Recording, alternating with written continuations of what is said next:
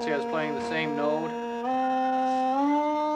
know, holes for the keyboard to make it slide. Bring it off. Yeah, that's right. Well, that was the sequencer. Now, you have a, a keyboard.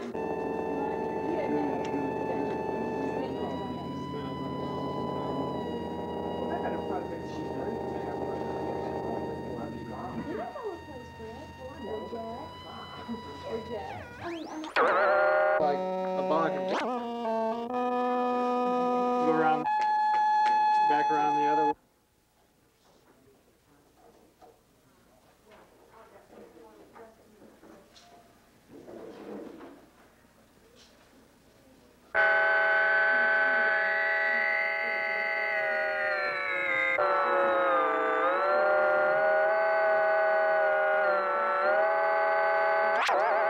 If you want to use the keyboard, turn a keyboard,